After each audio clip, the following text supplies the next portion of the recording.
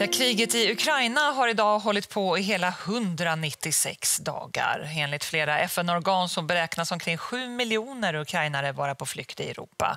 Och I Ukraina så beräknas 17,7 miljoner vara i behov av förnödenheter samtidigt som över 5 700 civila dödsoffer hittills har krävts.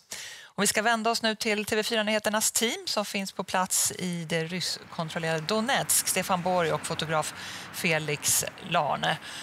God morgon Stefan, fint att ni kan vara med oss. Ja, ni är ju enda utländska team nu i Donetsk-regionen. Berätta, hur är läget där?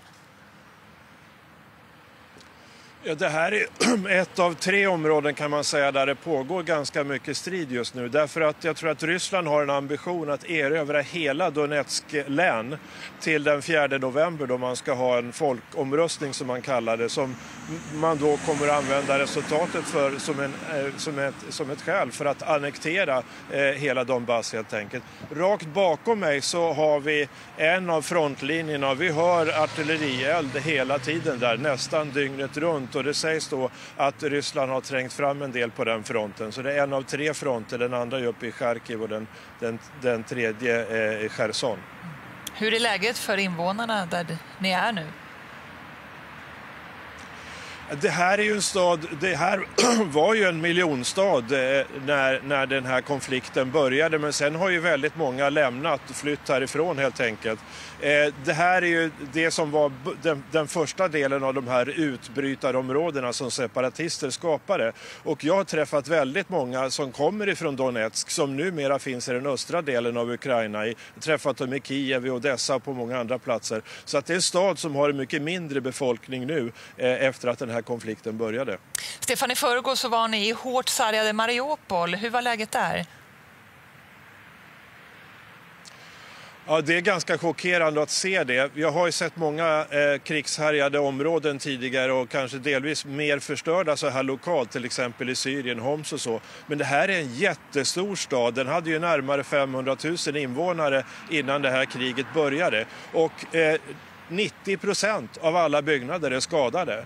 Och eh, vatten och el och gas är utslaget i väldigt stora områden. Så att det är ett kaotiskt eh, eh, tillstånd i den här staden. Alla är beroende väldigt mycket av humanitär hjälp och bor på tillfälliga ställen. Vi gjorde ett reportage senast igår om, om tio kvinnor som bor i en källare under en biograf utan vare sig, vare, vare sig el eller vatten. Stefan, igår så kom uppgifter om att Ukraina ser över möjligheterna nu att stänga kärnkraftverket i Zaporizjzja. Vet du något mer om det? Ja, vad man har sagt ifrån Ukrainas sida att man, man förbereder den möjligheten därför att strömförsörjningen till det här eh, kärnkraftverket är utslaget. Det beror delvis på att man har skjutit sönder en del av kraftledningarna som leder fram till det här eh, kraftverket.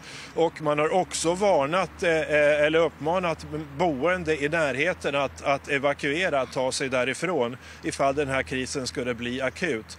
Eh, det, det som krävs är ju strömförsörjning för att kunna eh, driva kylningen av själva själva reaktorerna. Och om det inte sker då är kärnkraftverket i fara. Sen har vi också IAEA, den internationella eh, atomorganisationen som finns på plats med, med, inspektörer. Och från ryska myndigheten Rosatom finns det också kärnkraftsexperter. Så det skulle vara väldigt intressant att se vad som egentligen händer där inne nu och vad de säger till varandra. Mm, det skulle det verkligen vara. Stort tack Stefan för att du kunde vara med oss. Tack också till Felix Lane, fotograf på plats i Donetsk, alltså tillsammans med Stefan.